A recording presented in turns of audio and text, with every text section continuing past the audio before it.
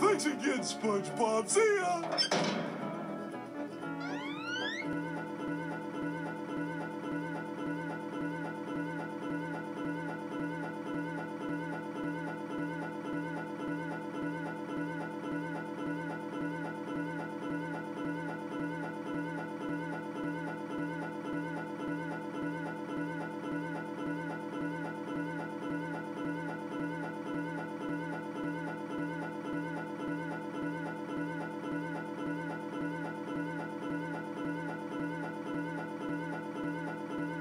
SquarePants, you've done it again.